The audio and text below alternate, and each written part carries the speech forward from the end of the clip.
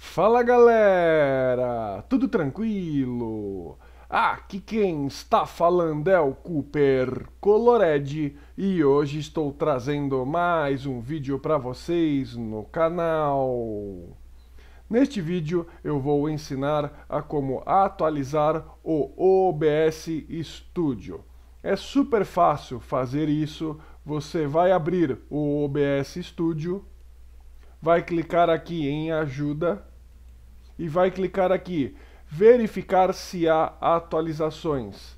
Agora o programa vai verificar se tem alguma atualização pendente ou não para o seu OBS Studio. No caso aqui no meu, ele já está atualizado. Se o seu estiver atualizado, vai aparecer isso. Se não, ele vai atualizar, ok?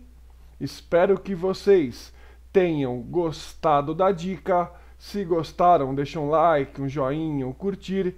Se são novos aqui e querem se inscrever no canal, vai ser um prazer ter vocês aqui como inscritos. Estou sempre fazendo vídeos para ajudar a galera.